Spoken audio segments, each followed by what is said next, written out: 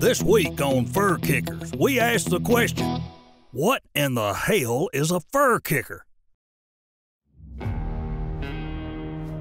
You wake up early each morning. Your drive and desire is second to no one. You fight vigorous conditions. You're trying to catch an animal that can walk anywhere they want to, but you hope they take one step too many. The days are long, and the nights even longer. You understand the reward doesn't cash out like it once did. You do it not for the glory, but for the love of the art. You respect the game you target. You pass down the tradition and you educate the non believers. You're a fur kicker, just like us.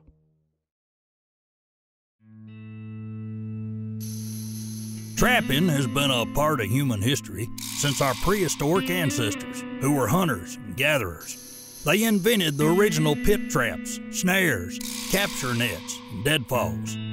Fur bearers, or animals that are harvested for their fur, have been the main target for trappers. Foothold traps were first invented to keep poachers out of European estates in the 1600s. Blacksmiths made traps of iron in the early 1700s for trappers. By the 1800s, companies began to manufacture steel foothold traps like we use today. Overall, trapping can be a cost effective activity that can benefit wildlife population, decrease damage to timber stands, agricultural crops, pastures, and road systems. Controlling fur bearer populations at suitable levels can also reduce the spread of wildlife diseases.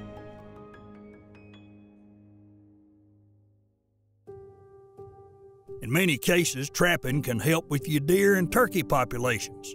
Raccoons, for example, need to be controlled because they'll rob turkey nest, grouse, and pheasant nest and decrease the population fast.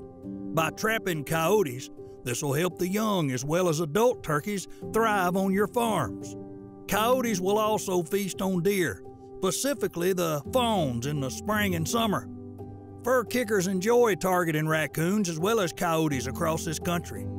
Believe it or not, there is a difference between a fur kicker and a trapper. Do you have what it takes to be a fur kicker? It's not just about trapping and harvesting the fur. If you ask the guys, it's a little more than that. Fur kicker would be someone that's out scouting throughout the season, looking for a target animal, looking for the sign. So once the trapping season finally gets here, he's out, he's putting traps in, trying to get, make that animal make one step too many. All right, Lark and I are out here at this pond. I've set out an otter trap, I think December 5th. Over a month of running this trap, well over a month I'd say, finally connect on him. During the day, Cody's a lineman, but in the off hours, he's a fur kicker. His specialty is water trapping. If there's a beaver in a pond or a creek, you can count on Cody and his knowledge to remove Brought that nuisance in, quickly. Cody Beckham right here, and uh, he's like, we'll get him. Put a 330 here yesterday, which we filmed them setting it up with that castor mound, and he obviously didn't come up it because he worked the castor mound. Chewed on that again, and so saved a bunch of trees on on this farm, and let's get them out. That's that's that's a lot bigger than what we thought, huh? What do I think it means to be a fur kicker? Someone that's a true conservationist, someone that goes out there and leaves it better than they found it. Someone that's got heart, that puts his time and effort. Don't just go out there and dig a hole. Figure out why you're putting a trap there. Put the time, put the effort in. And someone that's willing to pass it on, not only to their kids, but maybe someone else's kids or even an adult that's never trapped before. I'd let him go. Ah. Oh yeah, see there? When it comes to pure passion and desire to trap, both Corey and Cody are second to no one. I've trapped when I was a kid a lot. All my stuff got stolen, and now I'm back into it heavy. And With years of trial and error, both guys are extremely good at what they do. However, mistakes are made and lessons are learned. That's what makes a fur kicker. They surely don't know everything and aren't afraid to learn. One thing about a true fur kicker is the ability to pass down the art of trapping. Introducing kids is very important to the guys. Something I can't talk a lot because I get emotional, but to take my kids along and have Lockett or Tilly around and say, Daddy, there, there's a there's an otter. Daddy, look at this coon. It just it warms you. You know, it's I know it's once you have kids, you'll you'll know what I'm saying. But to see it smile on their face every time, it, it's awesome. Yes, you did. Gotcha. Pull hard. It's frozen in. Two hands. Pull it. Got it. Trapping with my daughter Cameron and my son Brody is something that's truly special to me. And just like Cody, I get a little choked up thinking about it, let alone talking about it. Spent a lot of time these last few years um, on the line with my kids, trying to teach them a little bit of what I know. Uh, I believe, truthfully, that it makes a person, especially a young person, a lot better um, outdoorsman, or in my daughter's case, an outdoors woman. We got uh, three male coyotes, one female. Um, all had nice furs. Dad had a big hole set right here. It got really cold, so we lost a couple, and all the traps were frozen. So uh, we got this one here, and uh, let's uh, dispatch it. That's our second coon. That is my biggest. That is the biggest coon I've ever seen in my whole eight years of being alive. This badger in a pipe dream set, and it's our first badger we've ever caught, and it's actually pretty big. Fur Kickers is brought to you by Innerloc Broadheads, American made and deadly by design. Outdoor Edge Knives and Tools. Umarex Air Guns. Reveal Cellular Cameras. Fur Life. Lumenok. Light 'em up. Scent Thief. Black Widow Deer Lure.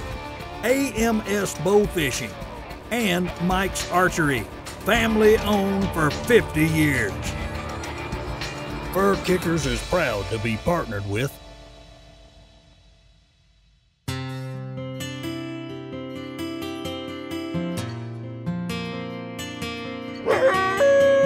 When it comes to land trapping, Corey's all about getting after it. From the mountains of Pennsylvania to the flatlands of Kansas, you can find Corey running lines and enjoying the outdoors. I love to land trap. That is my favorite thing to do. Targeting bobcats and targeting coyotes is definitely my favorite. I love trying to outsmart that wily coyote. Uh, I really love um, going out and, and seeing them hopping around in our traps, and I love sharing it with my kids as always. Well, guys, welcome to the tundra, also known as Kansas today. We woke up, we got a fresh dusting of snow. It's seven degrees, and it's going to be very chilly the next few days.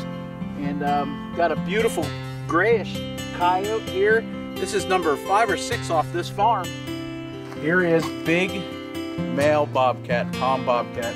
He's just at 35 pounds. My dad and I, his last trap of the line to check. My goal was one a day, one animal a day, and five of the 10 fox sets had fox tracks in them. Learned from my, my mistakes. I'm more set up for coyotes and uh, had to make some adjustments this morning on my sets. Came up here to the very last one and son of a gun got a beautiful red fox. It's been like blizzarding, like a lot. It's been like this all night and all day. Both Corey and Cody enjoy teaching trapping to outdoor adventurers. Each morning you head to the trap line is like Christmas. You never know what to expect, which is one of the fun parts of being a fur kicker. Sharing the experience with a friend or family only adds to the excitement. As you can see, being a fur kicker is more than just setting a trap and hoping an animal takes one step too many.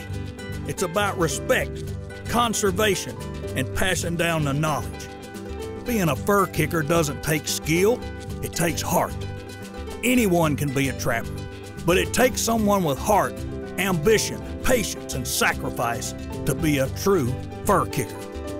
That's snowing like crazy. We're checking traps. We're making it fast. We got three possums today.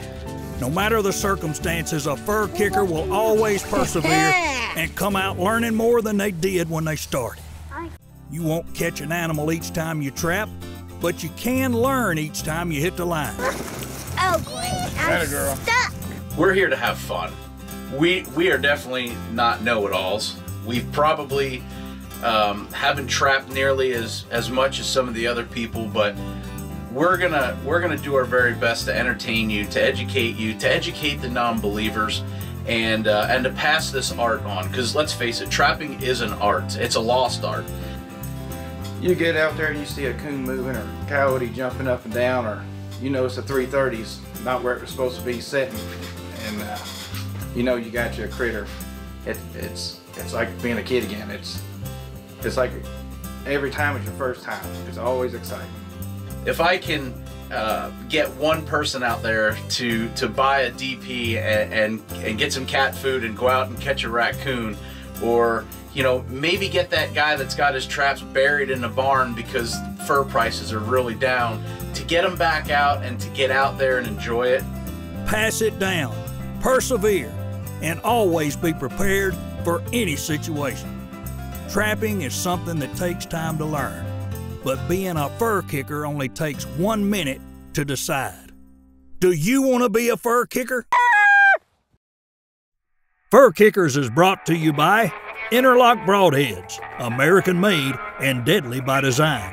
Outdoor Edge Knives and Tools, Umarex Air Guns, Reveal Cellular Cameras, Fur Life, Lumenok, Light 'em Up, Scent Thief, Black Widow Deer Lure, AMS Bow Fishing, and Mike's Archery, family owned for 50 years. Fur Kickers is proud to be partnered with. Thanks for watching. See y'all next time.